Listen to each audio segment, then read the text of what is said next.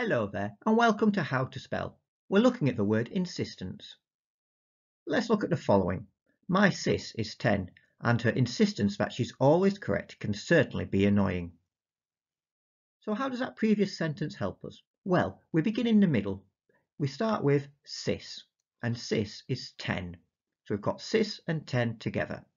And sis can be certainly annoying. So we take the C and the E from certainly and put that at the end. So we've now got a clear end and middle section.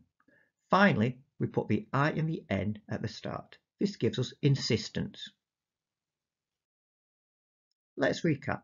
My sis is 10 and her insistence that she's always correct can certainly be annoying.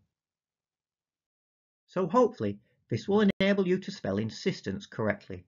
Look for sis, look for 10 and we're certain that you'll be able to get there. Thank you very much and take care.